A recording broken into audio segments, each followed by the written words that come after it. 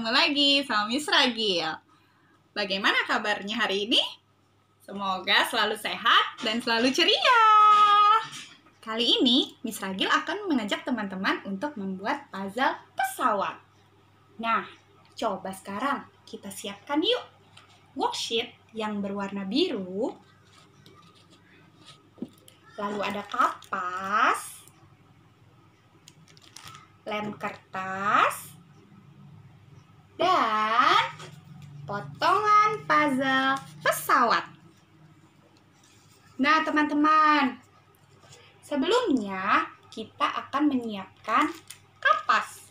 Nah, sebelumnya kapas yang masih bulat-bulat seperti ini, kita akan jadikan bagian yang lebih kecil. Begini caranya. Sampai semua kapas yang Miss Ragil sediakan menjadi seperti ini. Wow.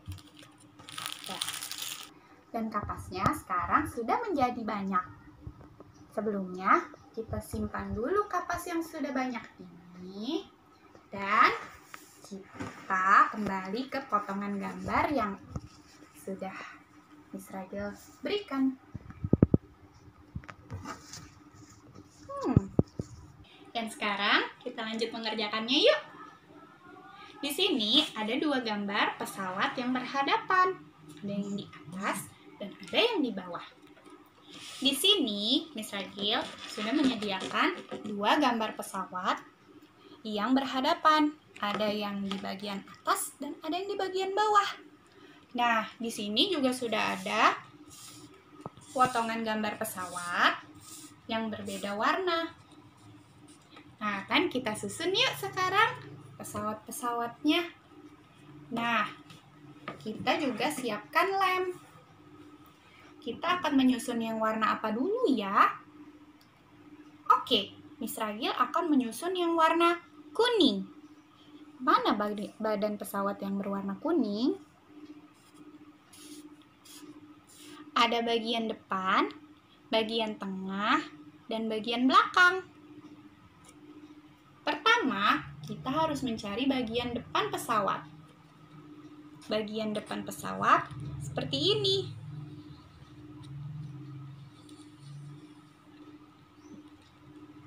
Apakah ini bagian depan pesawat? Atau yang ini?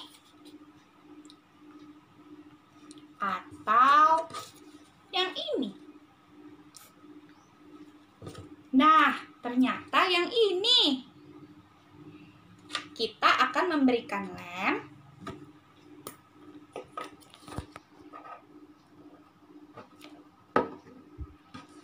lalu kita tempelkan di bagian depan pesawat.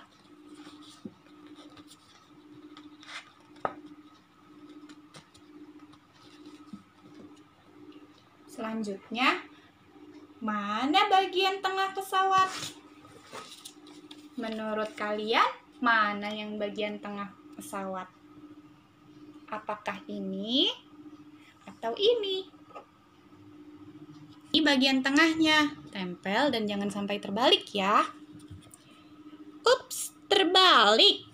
Ayo diputar. Benar seperti ini. Lalu kita tempel. Nah, teman-teman, sekarang tersisa di bagian belakang pesawat. Mari kita tempel bagian belakang pesawat. Berikan lem. Lalu kita tempelkan. Jangan sampai terbalik. Satu pesawat sudah jadi. Sekarang kita akan susun satu pesawat lagi yang berwarna merah. Kita tentukan dulu mana bagian depan, bagian tengah, dan bagian belakangnya. Nah, menurut kalian mana yang bagian depan pesawat? Apakah yang ini atau yang ini? Ya, benar. Ini adalah bagian depan pesawat. Yuk kita beri lem. Lalu kita tempel di bagian depan ya. Jangan sampai terbalik. Selanjutnya, kita akan mencari bagian tengah pesawat. Menurut kalian, Mana yang bagian tengah pesawat? Apakah yang ini atau yang ini? Benar sekali, ini bagian tengah pesawat. Sekarang kita beri lem. Lalu kita tempel. Hati-hati, jangan sampai terbalik. Wow. Sisa satu lagi bagian belakang pesawat. Jangan lupa kita beri lem. Lalu kita tempel deh.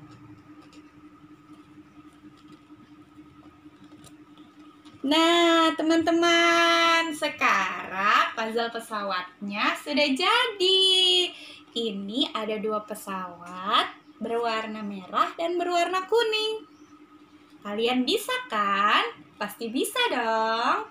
Nah, nah, sekarang kita akan membuat awan menggunakan kapas yang tadi sudah kita simpan dulu.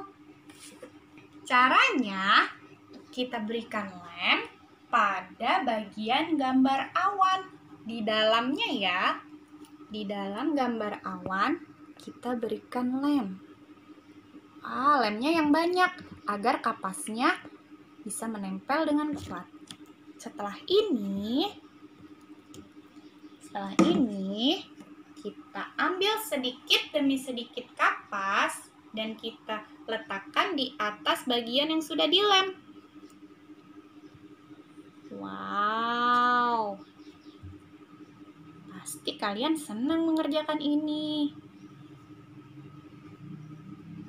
Seperti awan sungguhan ya.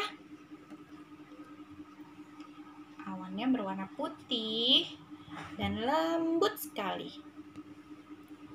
Diisi sampai bagian lem tertutup semuanya.